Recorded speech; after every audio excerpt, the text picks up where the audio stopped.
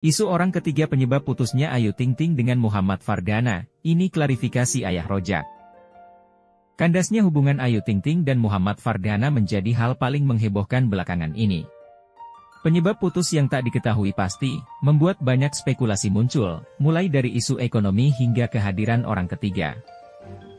Ayu sendiri sudah membantah bahwa masalah ekonomi menjadi penyebab dirinya dan Dana tak lagi melanjutkan rencana mereka untuk menikah. Dia hanya menyinggung keputusannya untuk mengakhiri hubungan karena adanya ketidakcocokan dalam hal prinsip hidup.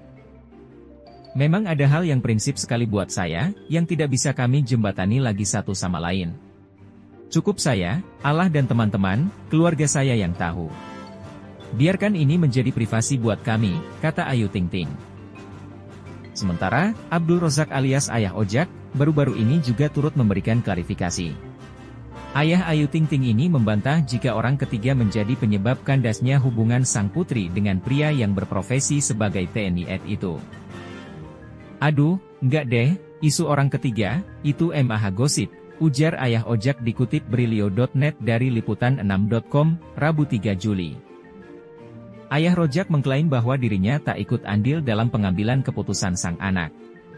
Sebab, pada waktu itu ayah Ojak dan istrinya, Umi Kalsum tengah menjalani ibadah haji di Tanah Suci.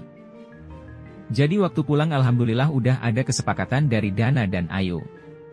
Jadi ya udah itu kesepakatan mereka berdua, jelas ayah Ojak.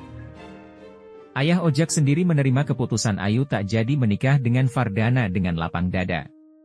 Ia meyakini, pelantun lagu alamat palsu itu gagal nikah adalah takdir sang halik. Namanya kalau jodoh, rezeki, dan maupkan Tuhan yang atur, bebernya.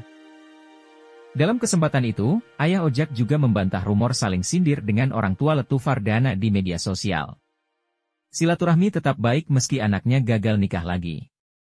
Apalagi dirinya dan istri sudah terlebih dahulu mengenal baik keluarga Dana, sebelum adanya perjodohan. Masih tetap, komunikasi dan silaturahmi. Masih tetap sama papa, sering juga teleponan, papa sehat? Kalau ayah nggak pakai, akun medsos, IG-IG, ayah ojak mengakhiri.